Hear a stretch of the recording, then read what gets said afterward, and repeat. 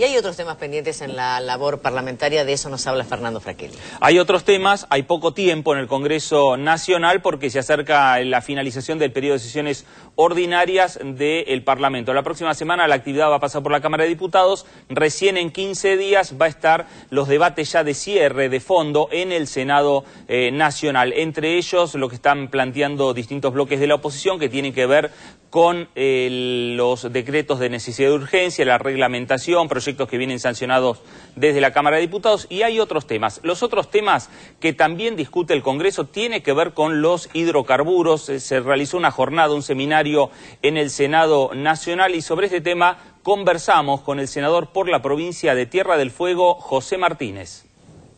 El Senado discutió en la Comisión de Energía la situación energética del país y de la región participaron especialistas y legisladores nacionales. Este seminario es sobre la matriz energética argentina que tenemos problemas a futuro y que hay que ir trabajándolo y planificando para resolver qué, eh, cómo vamos a mantener el crecimiento de la Argentina y para eso se hace falta energías.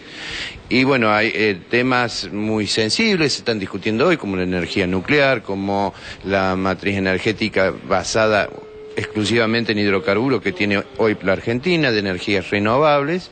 Bueno, es un tema que tiene que ser una política de Estado y tenemos que confluir hacia esa discusión todos los actores, todos los sectores políticos y todos los actores para darle sustentabilidad al crecimiento no solamente de las actuales generaciones y de las futuras. Y Tierra del Fuego, la verdad que tenemos potenciales que todavía no, no se han desarrollado para aportar a la matriz energética argentina y darle sustentabilidad a todo lo que es los recursos hidrocarburíferos de las áreas offshore.